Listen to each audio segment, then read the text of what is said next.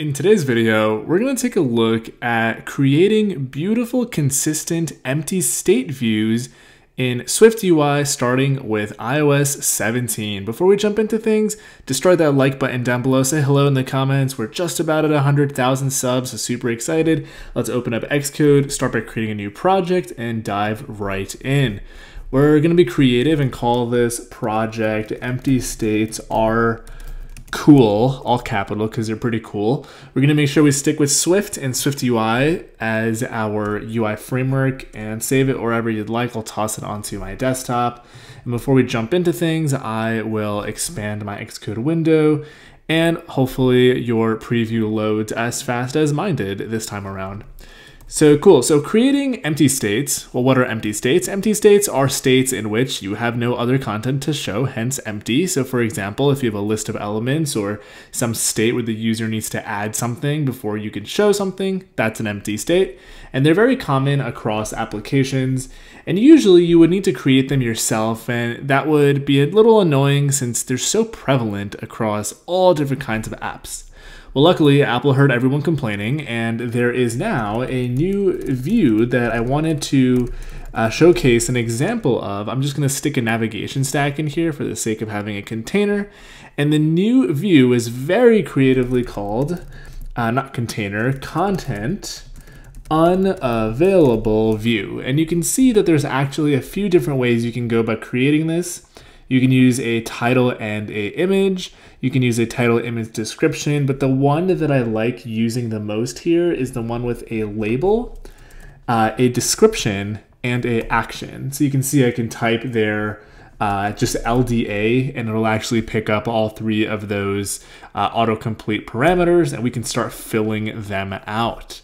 So let's do an example and see what this actually looks like. So for the label here, we're going to use a, a, string as well as a system image. So perhaps this is a screen in your app where you're going to show notifications. And we're going to call this notifications. The system image here will be a name of a bell. Now the second thing here is a text label of what the description is. So we'll say you have no uh, activity yet, activity, and let's try to spell things correctly and be sane. We add the I there. And the most useful thing about this that I like is that you can also have actions. So inside of here, we're gonna stick in a button and we're gonna create it with a title and just a closure for the action, which I won't put anything in here. I'll just stick in a comment. Well, maybe we'll say uh, do stuff and on the right hand side, if your preview is cooperating like mine is, you'll see what this ends up looking like. Now there are some ways you can go about customizing a bunch of this stuff. So for example, you can indeed um, on each of these views apply some modifiers to customize. So if we wanted this to be bold, uh, as an example, if we wanted to apply uh, a foreground color or a tint color, I should say, to the button. We can do that. We can even specify modifiers in the label here to control what this looks like. So in my personal opinion, I like the default look. I think it's kind of nice and faded.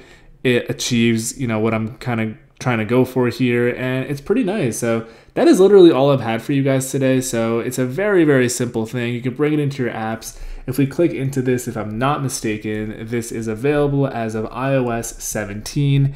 That's uh, annotated here, 17 and above. So obviously, if your application supports a lower deployment uh, version, you can use this alongside, you know, whatever your legacy solution is. But moving forward, you know, in a year or two, I would not be surprised if most folks are using this in their Swift UI applications Thanks for watching. That's all I've got. Hopefully, by the time you're seeing this, we're at 100k subs. Hit that like button before clicking away. Connect on all the socials. Throw an emoji down in the comments with the YouTube algorithm. I'll see you guys in the next video.